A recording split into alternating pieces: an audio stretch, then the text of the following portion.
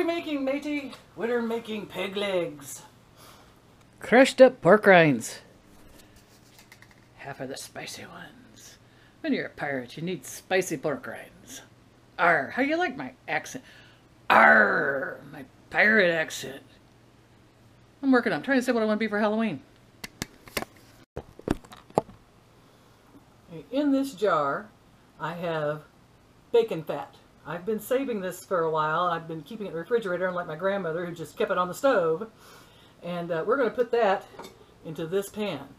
And then we're going to see the magic happen. Okay, I've melted my oil. Had to, had to take it off of the fire. I get busy fighting alligators and uh, Peter Pan and uh, forgot about it and kind of overheated my oil. Well, that's okay. Peter Pan's fine. He'll live. Alright, now, here's what we're going to do. I'll sit you up here to watch. Hopefully you can see.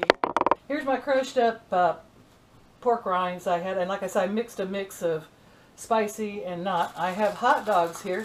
These are 100% Angus hot dogs, and they are um, two carbs per hot dog. okay, so like I said, these are 100% Angus. Uh, these are for later.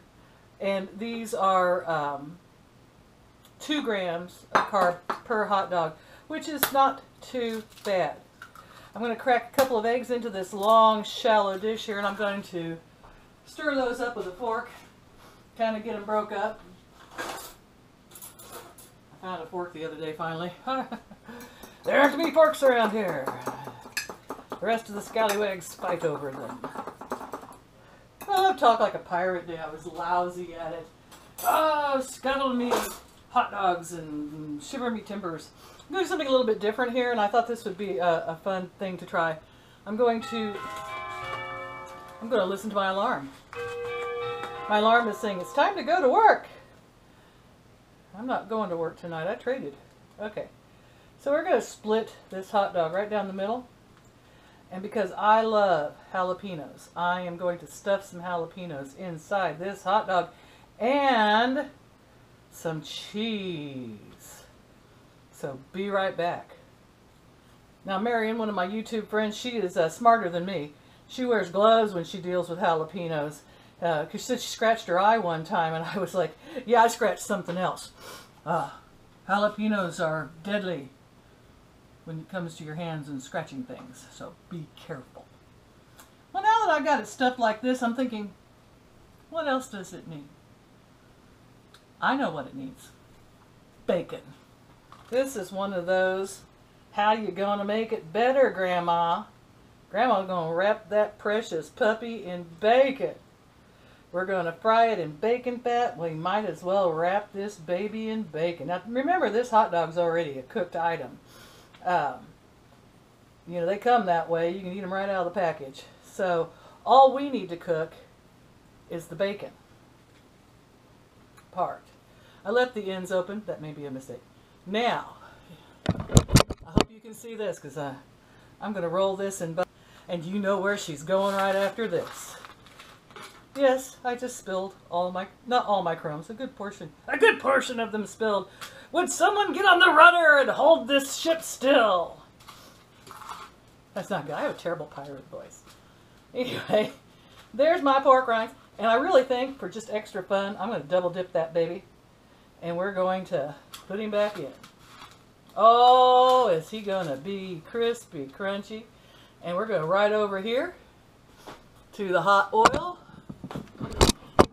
I'll put that back on the heat again.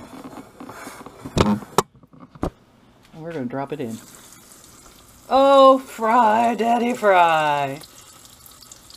Then we're going to skewer it. Skewer it. We're going to run it through. I'm going to run it through with me saber. And then I'm going to use it to walk with. no, I, I won't. But it's going to be me new peg leg. Right? Coming back when it's done. Found me wooden spoons. I'm going to go paddling in the grease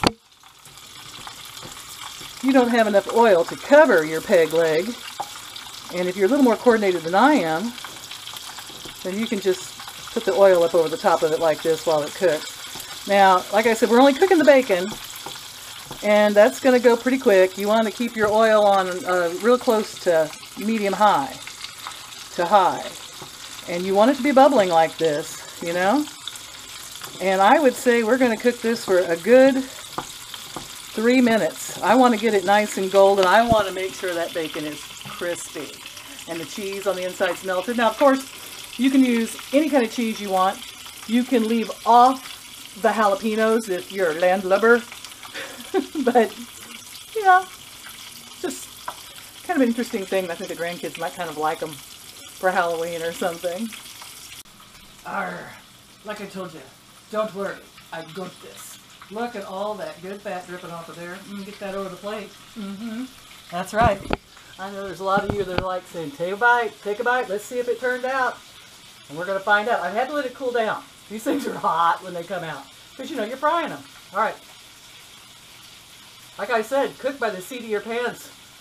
Arr, I was cooking by the seat of my doubloons tonight. At least I had a better pirate accent.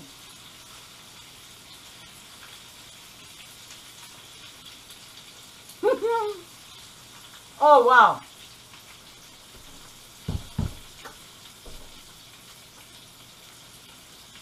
That is a meal fit for a pirate captain. So I better get out of the galley and go take him some. Well, I don't have a captain. I'm going to have to go put on my captain hat, and I'm going to eat it. Well, this was a lot of fun. I love making up recipes and just doing fun stuff. I think my grandkids are going to really like this one. And uh, I hope you enjoy it too, or your version. Any kind of cheese, leave out the jalapenos, put them in, wrap up more stuff, put that bacon around it, dip it in the egg and the pork rinds and fry it up in your favorite fat. There you go. That's the recipe. And I don't even think we need to write that one down. I love you all. Be good to each other. Uh, take care. Don't forget to hit like or subscribe. And uh, I'll see you the next time I get a crazy urge to go swimming in the grease. Or is it the fats? Next time I get the urge to go oring in the fats. Is it oring? Do you oar? What's it called? Is rowing.